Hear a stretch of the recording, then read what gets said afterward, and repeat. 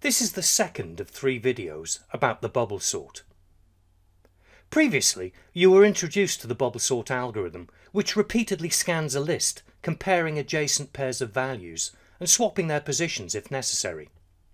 In this video, you'll see some pseudocode for a bubble sort, and some enhancements that can be made to the algorithm to make it more efficient.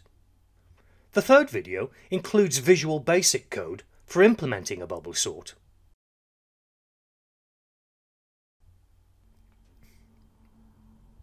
Before looking at some pseudocode, first let's think about how the bubble sort can go about swapping the positions of a pair of items.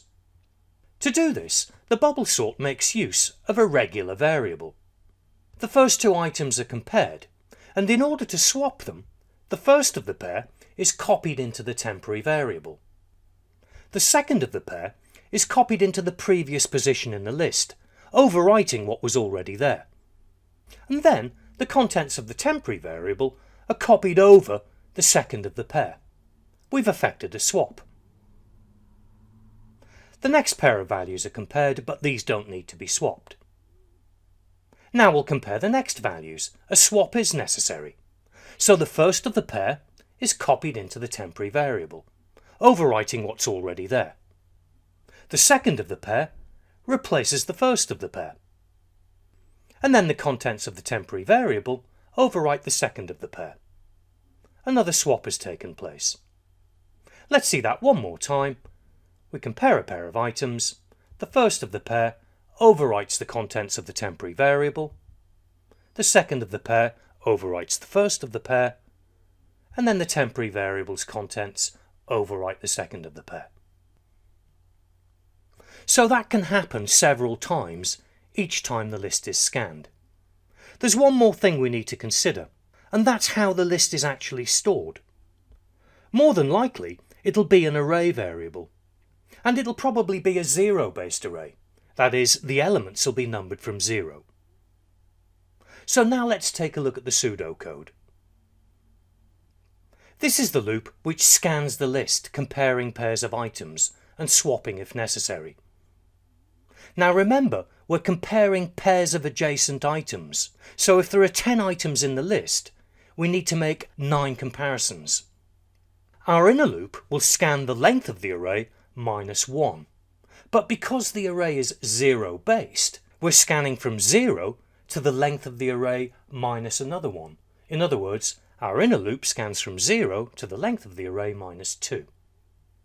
You can see the if block is comparing a pair of items, it's comparing an item in the array given by index number i with the next one along, given by index number i plus 1. And you can see also how the temporary variable is being used to do the swap. The inner loop needs to run several times, so the outer loop controls the number of times the list is scanned, that is, the number of passes through the list. This time the outer loop is counting from 1 so it counts to the length of the array minus 1. Remember, if there are 10 items, we need to scan the list 9 times. And here's some Visual Basic code. The variable declarations aren't shown, nor is initializing the array with data.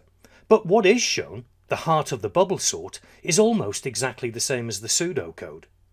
The main difference is the use of the ubound function. This gives us the biggest index number of the array rather than its length, and the biggest index number is already the length minus 1. This means there's no need to subtract anything at the end of the for statement of the outer loop, which controls the number of passes through the list. It runs from 1 to u-bound of the array. And we only need to subtract 1 instead of 2 at the end of the for statement of the nested loop. Now let's think about how we can enhance the bubble sort. Here's the original list. You should have noticed that the largest item is at the end of the list after the first pass. The second largest is in the correct position after the second pass, and so on. This means that the inner loop can run one less time with each pass. Here's our original pseudocode. Now we're using a variable to keep count this is incremented. It grows by 1 each time we pass through the outer loop. So we can subtract this value from the number of times that the inner loop runs each time we scan the list. Now if we start the value of count at 1, then we can make an adjustment here so that the inner loop runs to the length of the list minus 1 minus count. But just a moment, we already have a variable which is incremented every time we pass through the outer loop. It's iPass. So we can make one more adjustment. We'll just subtract this from the number of times that the inner loop runs each time the outer loop runs. It doesn't look like much, but if you think about it, this enhanced version of the bubble sort is doing half as much work as the original. And here's what the enhancement looks like in Visual Basic. There's another way we can enhance the bubble sort. If we scan the list and there haven't been any swaps, then all of the data must be in the correct order. So the next enhancement you're going to see causes the bubble sort to finish early once that data is in order. Here's the pseudocode.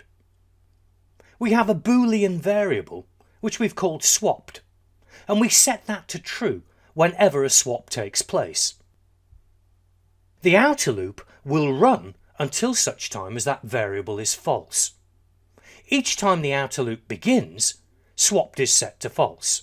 So if there is a swap, it'll be changed to true. If there is no swap, there's no more work to do, and the outer loop will exit, and the bubble sort will finish. And this is what it looks like in Visual Basic.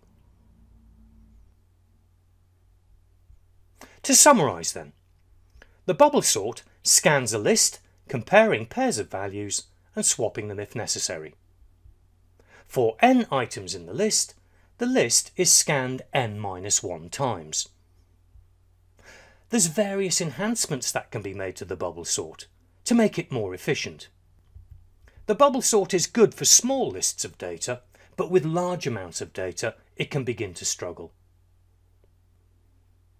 Next time, we'll look a little bit more closely at some Visual Basic code to implement a bubble sort.